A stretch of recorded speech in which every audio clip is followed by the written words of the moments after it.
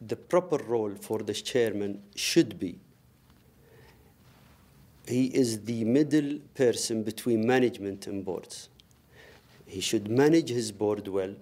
He should make sure that all the relevant information comes from management to the board in due time, in enough detail where they can make proper decisions. He should manage the board meetings themselves and he should also liaise with the stakeholders.